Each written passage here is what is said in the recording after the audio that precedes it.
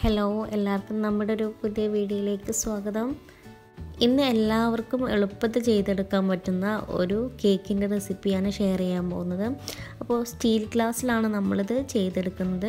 അതുപോലെ തന്നെ നമ്മൾ ചായയൊക്കെ പാരാൻ ഉപയോഗിക്കുന്ന ആ സ്റ്റീലിന്റെ കപ്പ് ഉണ്ടല്ലോ അതൊക്കെ യൂസ് ചെയ്തിട്ടാണ് നമ്മൾ ഈ കേക്ക് റെഡിയാക്കി എടുക്കുന്നത് അപ്പോൾ നിങ്ങളൊരു കാര്യം കൂടി ഓർമ്മിപ്പിക്കട്ടെ എന്റെ ചാനൽ സബ്സ്ക്രൈബ് ചെയ്യാതെയാണ് നിങ്ങൾ ഈ വീഡിയോ കാണുന്നതെങ്കിൽ സബ്സ്ക്രൈബ് ചെയ്യാൻ മറക്കരുത്.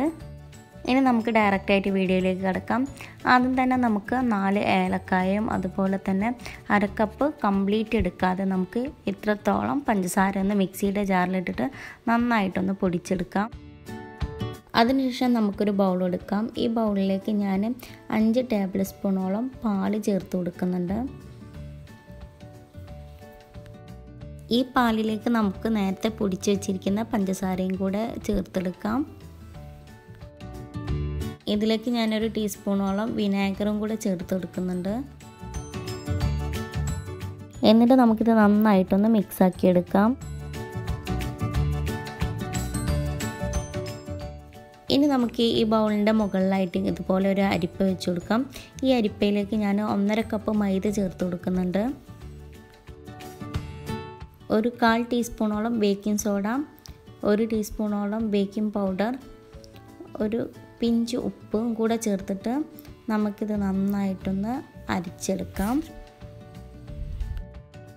അരിപ്പ വെച്ചിട്ട് ഇതുപോലെ നന്നായിട്ടൊന്ന് അരിച്ചെടുത്തതിന് ശേഷം നമുക്ക് ഇതുപോലെ ഒരു സ്പാച്ചിൽ ഉപയോഗിച്ചിട്ട് നന്നായിട്ടൊന്ന് ഇതൊന്ന് മിക്സ് ചെയ്തെടുക്കണം.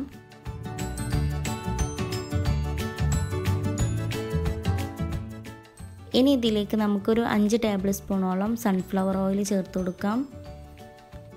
അതിനുശേഷം നമുക്കിതിലേക്ക് അല്പം പാൽ ഒഴിച്ച് കൊടുക്കാം. ഞാൻ ഏകദേശം ഒരു അരക്കപ്പ് പാലാണ് ഇതിലേക്ക് ചേർത്ത് കൊടുക്കുന്നത്. അപ്പോൾ നമുക്കിത് നല്ലൊരു കേക്കിന്റെ ബാറ്റർ പോലെ നന്നായിട്ടൊന്ന് ലൂസാക്കി എടുക്കാം ഈ അരക്കപ്പ് പാൽ തന്നെ നമുക്ക് കുറച്ച് കുറച്ച് ഒഴിച്ചിട്ട് നന്നായിട്ട് ഇതുപോലെ ഒന്ന് മിക്സ് ചെയ്തെടുക്കാം. ഇനി അഥവാ നിങ്ങളുടെ ബാറ്റർ നന്നായിട്ടൊന്ന് കട്ടിയായിട്ട് തോന്നുന്നുണ്ട് എന്നുണ്ടെങ്കിൽ കുറച്ചുകൂടെ പാൽ നമുക്ക് ദിക്ക് ചേർത്ത് കൊടുക്കാം. അപ്പോൾ കേക്കിന്റെ ബാറ്റർ ഇവിടെ റെഡി ആയിട്ടുണ്ട്. ഇനി ഇതുപോലെ നമുക്ക് രണ്ട് സ്റ്റീൽ പാത്രം റെഡിയാക്കി എടുക്കാം ഒന്നൊരു സാധാ സ്റ്റീൽ ഗ്ലാസും മറ്റത് ഞാൻ ചായയൊക്കെ വെള്ളമൊക്കെ അതുപോലെ ഒഴിച്ച് വെക്കാൻ ഉപയോഗിക്കുന്ന ഒരു സ്റ്റീലിന്റെ കപ്പാണ് അപ്പം ഇതിലേക്ക് ജസ്റ്റ് ഓയിലൊന്ന് തടവിയതിന് ശേഷം ഞാൻ നമ്മൾ നേരത്തെ തയ്യാറാക്കി വെച്ചിരിക്കുന്ന മാവ് ഒഴിച്ചു കൊടുക്കുന്നുണ്ട്. അപ്പോൾ ഓയിൽ തടവിയതിന് ശേഷം ജസ്റ്റ് മൈദ ഒന്ന് ഇതിന്റെ ഉള്ളിലൊന്ന് തട്ടിയെടുക്കാൻ ശ്രദ്ധിക്കണം. ഞാൻ അത് വിട്ടു പോയിട്ടുള്ളതാണ് കേട്ടോ ഇനി നമുക്കിതൊന്ന് ജസ്റ്റ് ഇതുപോലെ ഒന്ന് ടാപ്പ് ചെയ്തെടുക്കാം. അപ്പം ഈ രണ്ട് പാത്രം ഇതുപോലെ ഇതാ ഞാൻ ജസ്റ്റ് ഒന്ന് ടാപ്പ് ചെയ്തെടുക്കുന്നുണ്ട്. ഇനി ഇതിലേക്ക് ഞാൻ ഇതാ ജസ്റ്റ് കുറച്ച് മുന്തിരി ചേർത്ത് കൊടുക്കുന്നുണ്ട്.